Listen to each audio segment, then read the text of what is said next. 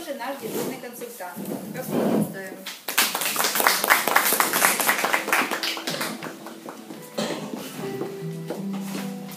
Добрый день. Я 2004 года в этой компании. Результатов много. Когда спрашивают, какие результаты, даже теряешься, потому что их слишком много. Только Вот даже не знаю, идет крема, вот этого крема молочко, усиленная защита, сейчас на него акция идет. Там два крема интенсив и подарок вот это крем молочко. 100 миллилитров, оно жидкое, нежное. Его хватает, даже если два, дня, два раза в день не им пользоваться, его хватает на полгода. Крем очень хороший. Ну, как-то так получилось летом, мы с дочкой вышли, было холодно-холодно, а потом раз и жара. Все пораздевались, и дочка сильно обгорела на солнышке, когда мы там по рынку ходили. Пришли домой, она горит, как, э, в общем, как красный э, мак горит вся, горячая. Я вспомнила об этом креме, ее помазала. Один раз помазала, второй, третий. Буквально с первого раза, как я ее помазала, у нее кожа стала не такой горячей. Стала немножко утихать, утихать, утихать, и все прошло. Крем замечательный. Но он э, помогает не только защита от солнышка там на 7,5 часов, там еще идет защита от мороза и колючего холодного ветра. Если вы будете им пользоваться, у вас кожа всегда будет мягкая, нежная, и когда не будет зимой шелушиться.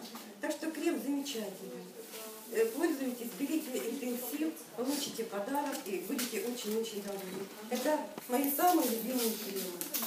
Еще такой один у меня получился, как бы э, с дочкой. Она заболела, и я давай, у меня вечно в коробке, там целая куча препаратов Амриты.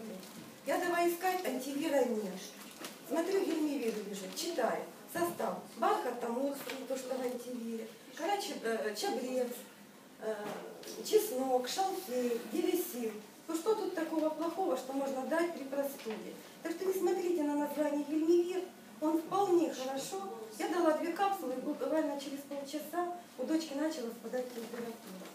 Препараты нужно смотреть не по названиям, а потому что они содержат. Э, Хотела рассказать еще буквально несколько слов о препарате чисто судьбы.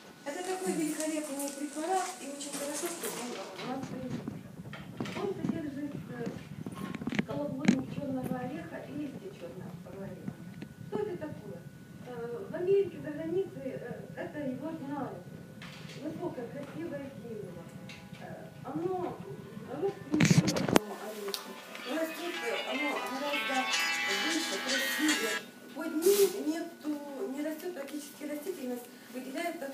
фитонцидов.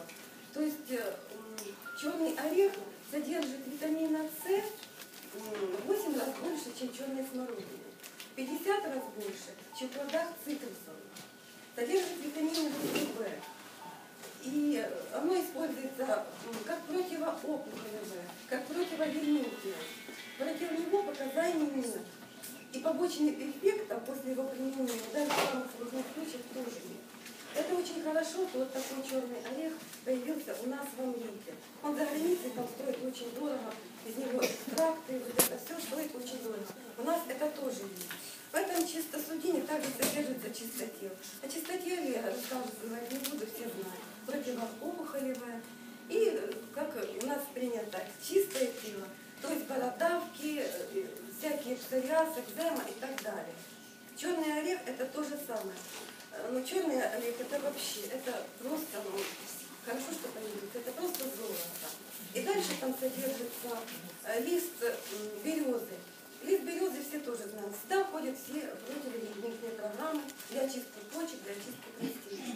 И такое очень красивое растение, оно иногда растет, у нас не так часто, как, э, как бы хотелось, оно растет, растет в садах, монада. Это красивый цветок, его очень много видов. Прекрасный медонос, у него очень любят пчелы. Это единственное растение на всей планете, которое способно бороться с черной плесенью. Черная плесень настолько опасна, что она может вызвать не только аллергию, там легкое недомогание, она может вызвать самые плохие последствия. Против черной плесени защиты вообще нет. Вот даже наши ученые э, послали станцию «Мир в космос» э, эту черную плесень. Через полтора года, когда э, корабль э, начали обследовать, т- туда послали космонавта, она вся полностью покрылась плесенью, то есть она стала выходить из строя из-за плесени. Э, Черную плесень нельзя убить ничем. Она там живет там, где практически жизни не должно быть. Ну, поэтому станцию мне пришлось э, затопить. Черная плесень, вот это, он, э, если мы вот так возле дороги, в квартире, она любит теплый воздух, прохладу. Вот даже если стать возле дороги и прод- делали эксперименты, то кубическом метре содержится около 500 видов э, различных видов вот этой споры грибов, разных грибов. В подъездах, кругом, там, где есть пыль, э, там, где у кого есть в вот это такие на окнах черная плесень, с ней надо бороться. Даже еще в Библии было написано. э, Если у вас завелась черная плесень, надо ее отскоблить, отцарапать, снять вот эти кирпичи, вынести, э, в- надо вынести все из дома. Если это невозможно сделать, нужно сжечь дом. Тогда считалось, что это предвестник ну, не- нехороших событий. Черная плесень, как бы диагноз. И сейчас не надо надеяться вот на препараты химические, синтетические. Это сейчас не проблема их ввести в организм. Сейчас проблема их вывести оттуда.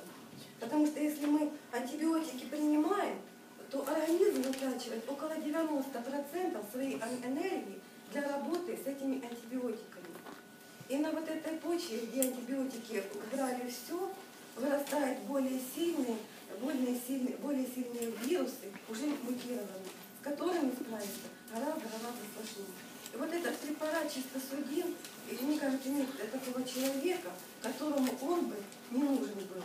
Это и м, э, это он чистит кровяное Это препарат просто замечательный. И он нужен буквально все, потому что вот эти грибковые защиты от них, они всегда есть. Если немножко организм ослаблен, то нарушается баланс в организме, и это приводит к заболеванию. Спасибо.